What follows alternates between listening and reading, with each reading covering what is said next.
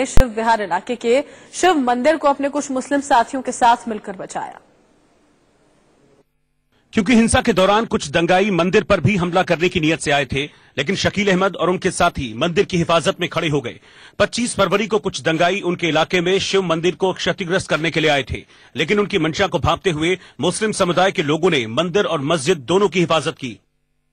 हम अपनी मस्जिद नहीं कहते, हम अपने मंदिर की और हमने अपनी मस्जिद की हिफाजत के लिए हमारे इंदिरा विहार के भाई और हमारे कुछ चमन पार्क के साइड लगता है। हम लोग सबने कहा कुछ लोग उधर जाओ और कम से कम चालीस, वहाँ से ज़्यादा हमने कहा हमारे इस मंदिर की हिफाजत करनी है, क्योंकि हमारा नाम बदनाम हो जाएगा कि मुसलमानी एरिया में मंदिर होने के बाद उसको नुकसान पहुँच गया। हम ये नहीं चाहते।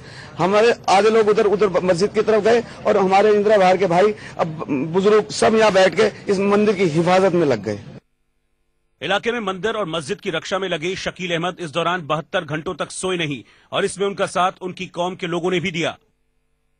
कंटिन्यू आज बहत्तर घंटे होने को आ रहे हैं। एक घंटा भी मेरी आँख नहीं लगी हमारे किसी किसी बच्चे की, बूढ़े की, औरतों की। तकरीबन हम सारी रात रात जाग के और दिन में जाग जाग के भूखे प्यासे हैं। चाय मिल गई तो बिस्कुट नहीं है। अगर दूध नहीं है तो पत्ती की चाय पी रहे हैं हम लोग। कोई हमें कहीं से कोई मदद नहीं आई है। इस इलाके के मुस्लिम समुदाय के लोगों का दावा है कि दंगे में शामिल लोग इलाके के नहीं थे बल्कि उन्हें बाहर से लाया गया था।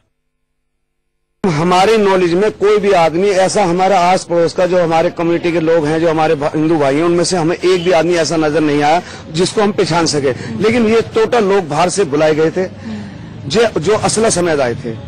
हम इनको नहीं जानते। हमारे जो हिंदू भाई थे उन्होंने भी झोरीपुर से रोका उन्हें लेकिन वो वो भी उन, उन, उनको भी जो है ना थेड़ देते रहे। शिव बिहार के चमन पार्क में ज़्यादातर परिवार मुस्लिम हैं। सिर्फ़ दो परिवार ही हिंदू हैं। हिंदू परिवार की माने तो उत्तरी दिल्ली में हिंसा फैली थी लेकिन उनके मुस्लिम भाई उनकी रक्षा में लगे हुए थे।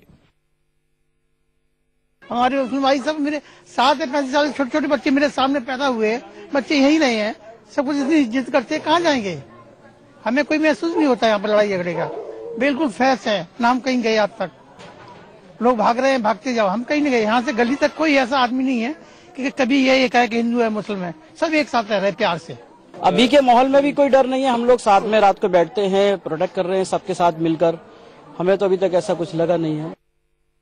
दिल्ली के हिंसाग्रस्त इलाके में अब माहौल शांत होने लगा है और इस बीच हिंदू मुस्लिम भाईचारे की ऐसी तस्वीर भी आपसी विश्वास बनाने में कारगर साबित हो रही है।